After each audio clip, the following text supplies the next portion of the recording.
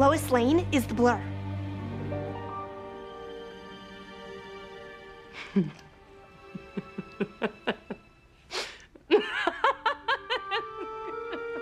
Laugh all you want, but you mark my words, Tess Mercer.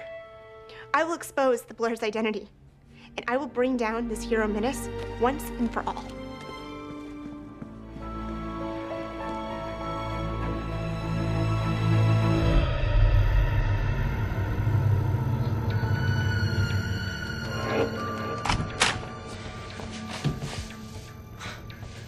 Well, look who decided to show up to work today.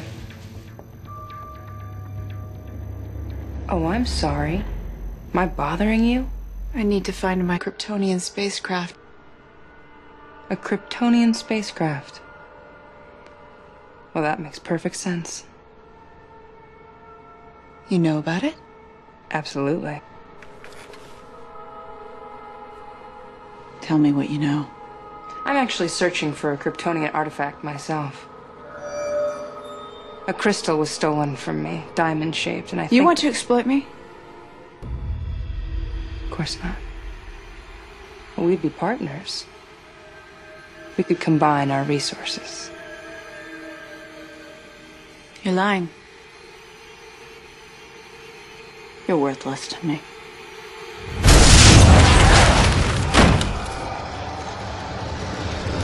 get this straight.